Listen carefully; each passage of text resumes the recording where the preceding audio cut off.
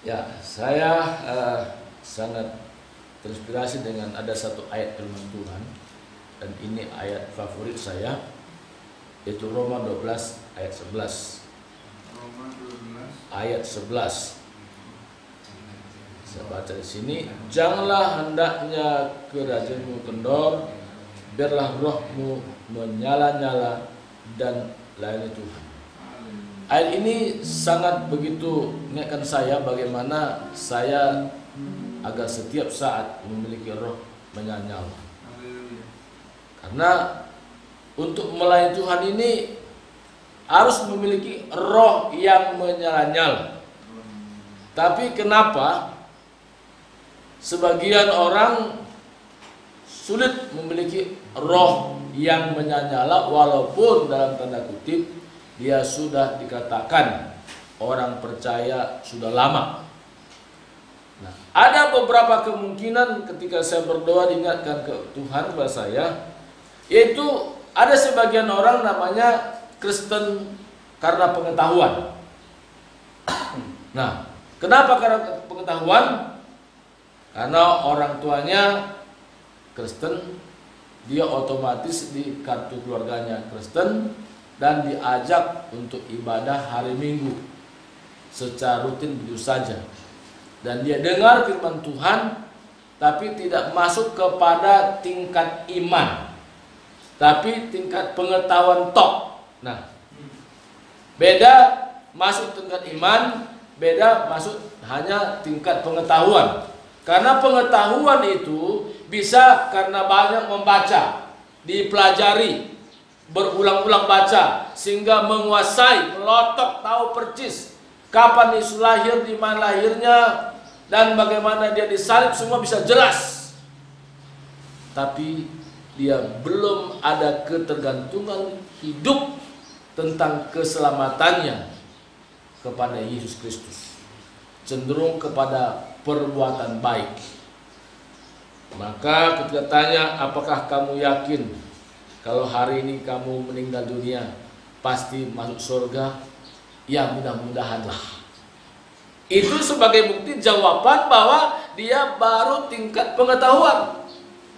Nah, bagaimana supaya benar-benar bukan hanya pengetahuan masuk kepada iman? Saya juga dibawakan satu ayat firman Tuhan Roma 8 ayat 16 katakan Roh itu bersaksi bersama-sama dengan roh kita bahwa kita adalah anak-anak Allah. Jadi roh Allah dengan roh kita itu ada satu kesatuan bersaksi dikatakan dinyatakan dalam roh kita bahwa kita sudah resmi diadopsi menjadi anak Allah.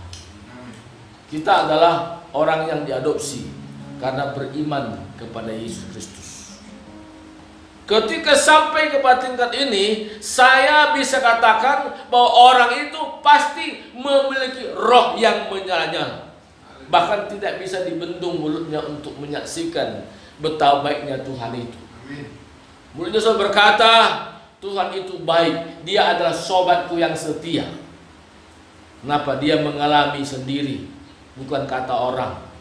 Dan dia terlampau fokus kepada Tuhan daripada masalahnya. Masalah itu bisa kecil ketika dia memfokuskan diri kepada Tuhan yang jauh melampaui dari permasalahannya. Makanya saya selalu berdoa bagaimana juga solusi buat istri saya supaya bisa jalan ya. Dan saya berdoa tidak cukup hanya berdoa saja tapi harus ada tindakan-tindakan juga. Dan saya harus memberikan semangat buat istri saya. Tuhan ini aku berikan aku kemampuan untuk berkata-kata, memberikan semangat buat istri saya supaya dia juga bisa bertindak, berjalan. Jadi saya siapkan uh, satu bentuk meja, tapi bukan meja, tapi bentuknya saya kayak meja. Nah, ini videonya hari ke-6 saya buat tadi pagi, jadi bisa lihat juga hari ke-6. Nah, 4 bentar ya.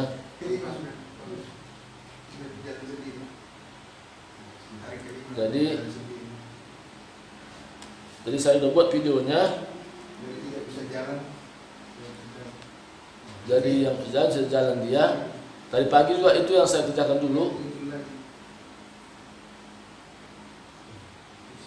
Seperti ini saudaraku. Tidak bisa lihat ke mana itu saya bisa jalan Oh. Seperti ini. Jadi itu saya lakukan. Jadi saya bilang harus bertindak, harus melangkah, Amin. mulai dari dalam, semangat bangun dari dalam, yakinkan bahwa udah bisa berjalan. Amin. Amin. Amin. Dalam tempo beberapa kali lagi udah jalan dan tidak perlu pegang apa-apa lagi. Dan itu saya katakan. Jadi saya percaya itu juga doa saudara supaya memang cepat bisa jalan. Tapi itu saya lakukan. Karena kalau saya biarkan di tempat tidur, kapan jalannya? Pertama, waktu saya suruh jalan dia nggak mau. Saya bilang saya paksa. Memang perlu juga paksa juga memang. Nah, terus saya dampingin dari belakang awalnya. Saya supaya jangan takut. Saya bilang jatuh saya pegang dari belakang. Dan sekarang saya nggak nggak lagi. Ini ini hari keenam ini. Iya iya iya, masih tuntun tuntun gitu ya. Nah inilah satu kesaksian yang saya bisa bagi buat kita semua. Jadi ada kalanya perlu tindakan. Tidak cukup hanya doa saja, tapi ada perlu tindakan menunjukkan bahwa kita memiliki iman juga. Terima kasih Tuhan berkati dan kesaksian sahabat kita semua. Amin.